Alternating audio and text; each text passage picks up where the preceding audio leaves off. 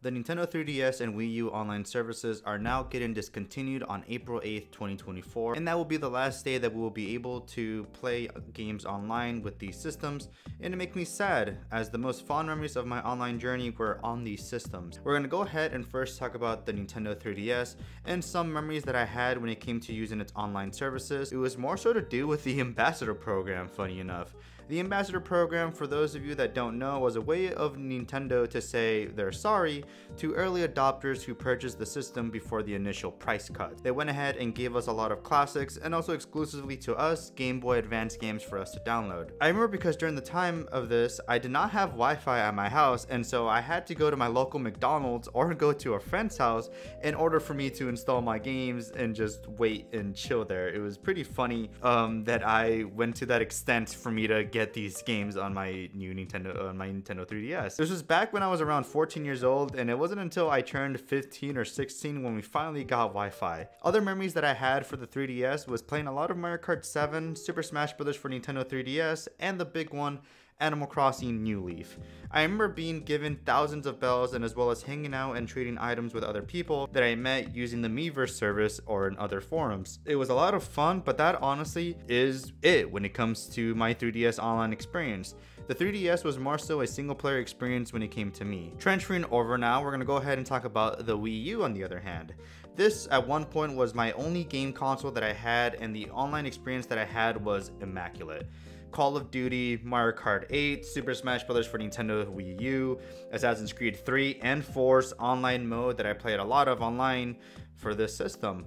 The main ones that I played a lot of were for sure Call of Duty, Mario Kart 8, and Super Smash Bros. This to me was in a way my prime online years.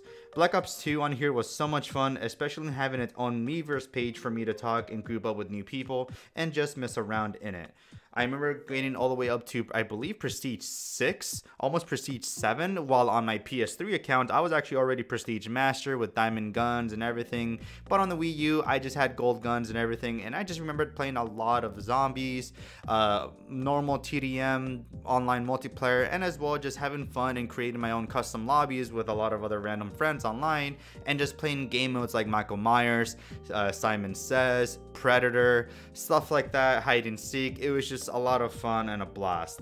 The next game was Mario Kart 8, which was a blast just destroying randoms online, and, as, and also like I mentioned, joining groups to do some custom races was also fun. Now the big one for me when it came to the Wii U in the extent of Animal Crossing New Leaf on the 3DS, the main big one for me was Super Smash Bros. for Nintendo Wii U. Now this is what I consider my prime when it came to Smash Brothers.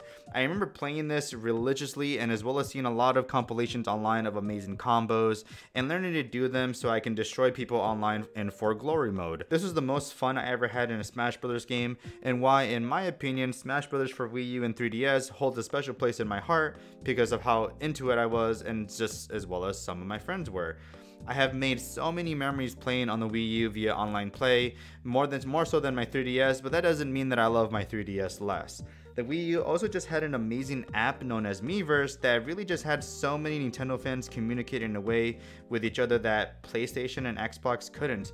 Though this is also considered one of Nintendo's dark past, it still had a beacon of light that made it all so better. It's very sad for me to say that this is truly now an end of an era when it comes to gaming here for me. The 3DS was my very first system that I ever pre-ordered, and the Wii U at a time was the only system home console that I had that I could play online with. So these two systems, even though they were considered and part of one of Nintendo's darkest points of their company's lifetime, amazing to see still Nintendo give gives a uh, pretty decent amount of support to both of these systems. I'd say more so to the 3DS as that was their main cash cow that was actually helping them. But the Wii U was is just a, such an underrated console that I feel like it deserves a lot more love and appreciation that it than it gets. This is considered one of the Nintendo's dark past, but it still had a beacon of light that made it all so better. And that, in my opinion, was Miiverse.